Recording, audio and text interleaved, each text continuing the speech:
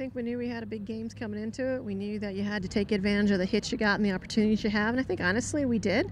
Um, they did a little more than we did. I mean, they're they're proving of first place in the conference and they're deserving of what they do.